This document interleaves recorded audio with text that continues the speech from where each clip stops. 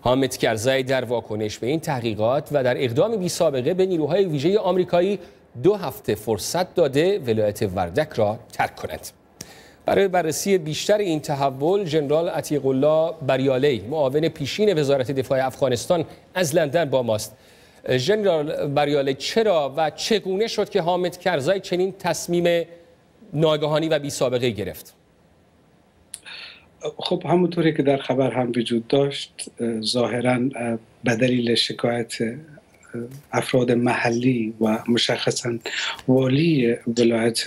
وردک در واقع آقای کرزی تصمیم به التماتوم برای خروج او قطعات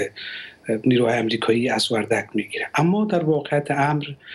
این جزوی از خواستهای آقای کرزی در طی همین مدت چند سال آخر بوده که نیروهای ناتو و امریکایی باید از محلات مسکونی یا از محلات پرتجمع خارج شوند و این در چوکات همون برنامه است که آقای کرزی به صورت سیاسی در مذاکره با طالبا دارد و همچنان برای علی ظاهر برای اقناع اذهان عامه در چوکات همون برنامه است که امریکایی ها باید عملیات خود عملیات های نظامیشون از بهار امسال باید متوقف بسازند. جنرال عتیق این تصمیم چه تبعات امنیتی و نظامی می‌تونه داشته باشه؟ چون قرار بود نیروهای آمریکایی فعلا باشند در اون منطقه. خب این ولایت اساسا در مرز غربی شهر و ولایت کابل قرار دارد و از لحاظ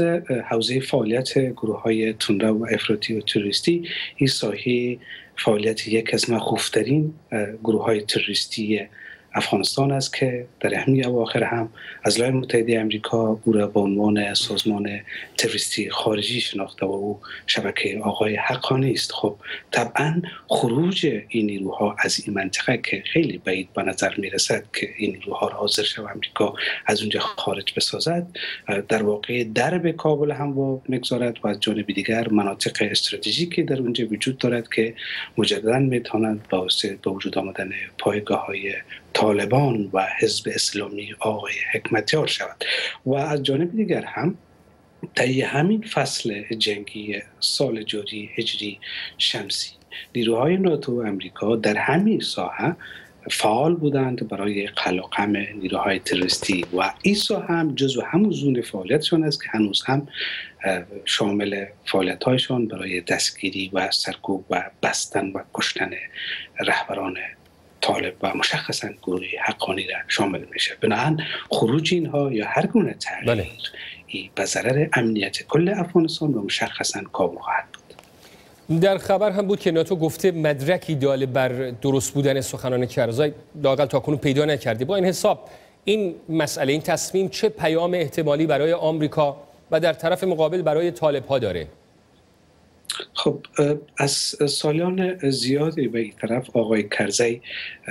ملاحظات خود ایرادات خود و خواستهای خود در عکس عمل و نیروهای ناتو و امریکا بیشتر از طریق مطبوعات مطرح می‌کرد و در سفر آخری هم که آقای کرزی به امریکا داشت دوستان امریکایی ازش تقاضا کردند که هر سوال اگر دولت افغانستان مشخصا آقای کرزی دارد باید سوال همینجا حل بکند و در غیر از او تقاضای این بود که اگر ایراد و ملاحظه هم بعدا به وجود میاد باید از طرق مجاری رسمی حل شود تا از طریق مطبوعات. حالا با خلف وعده آقای کرزی من تصور می‌کنم که دوستان ناتو و مشخصا نیروهای نظامی امریکا از این تبلیغات ناراحت خواهند شد و اساسا ایره به ضرر حضورشان در افغانستان می‌بینند و از جانب دیگر هم